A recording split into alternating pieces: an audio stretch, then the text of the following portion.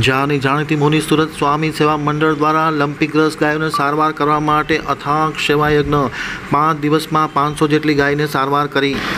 Lumpy virus નામના રોગચાળાએ પશુઓમાં હાહાકાર મચાવ્યો છે. ત્યારે ખાસ કરીને સૌથી કચ્છમાં ચિંતાજનક આ રોગચાળો વકરી છે. આવી પરિસ્થિતિમાં સેવાભાવી સંસ્થાઓ અથાગ કામ કરે છે. વાત કરી છે અંજારની મુનિ સુરત સ્વામી સેવા મંડળ દ્વારા. છેલ્લા વીસ વર્ષથી ખાસ કરીને રવિવારે એકસો પચાસ લોકોને ભોજન આપે છે, પંખીઓને ચણ આપે છે, પશુઓને ચારો આપે છે.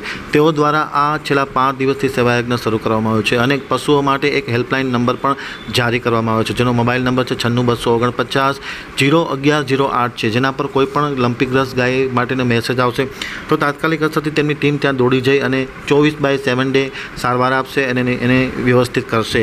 અત્યાર સુધીમાં ચારસોથી વધુ ગાયોની સારવાર કરવામાં આવી છે. ખાસ કરીને ગોળ સાથે દવા ખવડાવવામાં આવે છે સેનેટાઈઝ કરવામાં આવે છે, ગાયને દવા ખાવામાં આવે છે. સંપૂર્ણ આર્થિક સહયોગ ઝાંઝર ભવાની માતાજી આરતી ગ્રુપ દ્વારા કરવામાં આવી રહ્યું છે અને અથાક આ સંસ્થા કામ કરી છે. ખરેખર કાબિલેદાદ કામ કરી રહી છે.